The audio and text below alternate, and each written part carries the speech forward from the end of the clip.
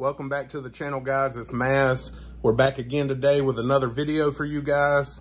Today, we're going to go over the portal weights that um, Fox RC88 from Instagram sent to me. Um, once again, I cannot thank him enough. I appreciate you sending them to me. In that last video, if you remember, I said I was going to paint these black. Well, I bold-faced lied to y'all um, because I knew that I wasn't going to paint them, but that I was going to have my boy George or Jorge up at Exotics Powder Coat in Kernersville, North Carolina. He just did them BKO8 for me. So like a, they call it semi-gloss, but it's not really got much of a sheen to it. But I think it'll go with the axles really well. He did a real nice job going back and cleaning up. Taped off the backside so nothing got in there. Obviously these two top holes are through holes. So I told him I would clean those up. So what I will do is take your favorite handy dandy drill on speed two for a full dig. Um, I believe this is how you do it. Um, you get it started real fast and then you try to hit the hole at full speed. My, so you want to get full dig all the way and then you want to bam jump in there you know? Bam jump right into the hole at least that's how rc boy tells me to do it. Um, if any of y'all remember seeing rc boy with a drill he taught me how to use a drill. But nah on a real note all you need is speed one we go in through the back find the right drill bit size and just very easily go through there and clean those holes out. Not trying to take any material off, just trying to clean up any of that powder coat inside those holes. At least smooth it out. And the bolt should go directly through that, no problem. I've already done these other three. So these came with their own bolts. Assuming I should use these. They're all two millimeter heads. So Got my favorite screwdriver, you know, that MIP speed bit. Saves a lot of time. We'll, re we'll finish torque it with our handheld MIP. But let me get this truck torn apart and I'll come back to you once we get these things put together. All right, so I've not watched any videos on how to do this, so I was just kind of looking at the front of the truck to see the best way. Well, these two bolts right here on the front are very easy to get to, obviously.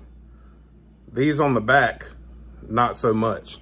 Well, instead of fighting these on the truck, I figured, hey, it's just a top and bottom, and they have their own little spacers that go in the plastic, their bushings, and the steering linkage.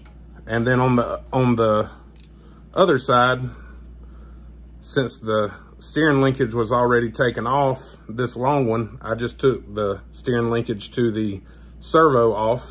We'll leave that on because I can flop it out of the way and I can still get to the back of all these. So that's just the way that I did it. I don't know if that's the correct way to do it. You know, we'll get these all lined back up. You just have to put your stub shaft back in. That's what she said.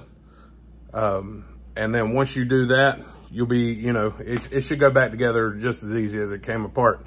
So I'm going to get these pulled apart. If I run across anything crazy, I'm going to come back and show you guys. I wanted to show you guys this. So this is probably the toughest part. Nothing really to it though. When you get your plastic housing off, you're going to pull it off obviously from your inner housing with all your gears you want these gears to stay with the assembly over here. That bottom gear needs to stay down. Um, you're going to take your bearings out of this. And basically the way I did it, the big one down low, you can push it. There's a there's a lip all the way around the inside of this that you can push down very easy. It pops right out. Top one comes out fairly easy as well. Just use some tweezers and I just kind of put it in there and worked my way around in circles and eventually popped right out. when they're going back in, make sure you're going into a harder material, even though brass is soft when it comes to metal. Um, you're going in a hard material, so you need to make sure those things are lined up, and then you kind of want to work back, back and forth across from each other and kind of wiggle it back down in there. These will probably be pretty tough to ever get out of there because they're machined so tight.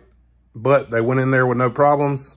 You know, worst case scenario, you decide to go a different route, go buy you a couple bearings. It's no big deal. It's not the end of the world.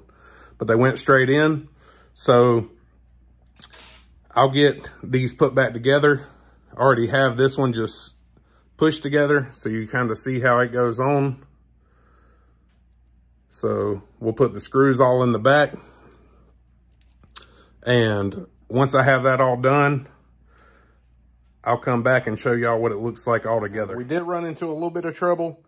Hopefully we can avoid this trouble with a future upgrade we're about to do. Um, not really.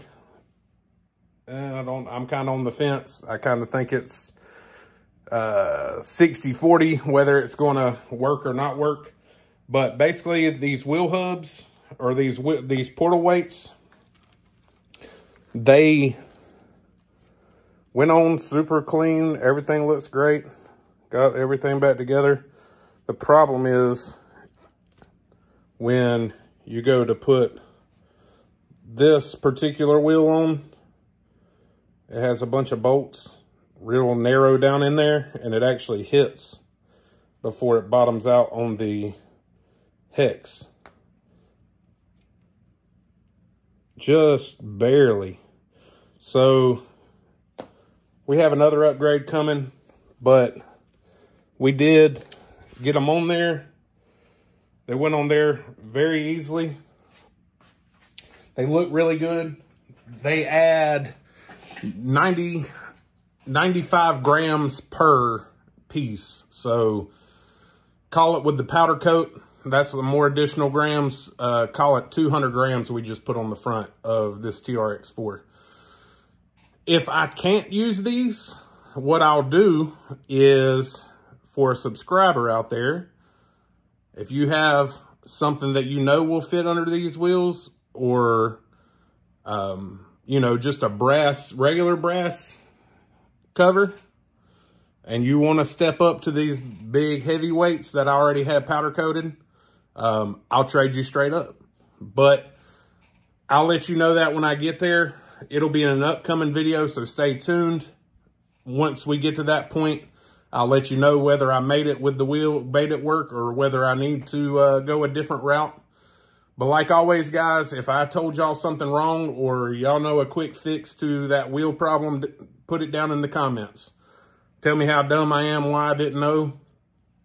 Um, I'm going to keep these two off the truck for the time being due to there's no, I, I was really only going to do fronts first anyway, but I definitely don't want to put them on if I'm going to have to pull them back apart again.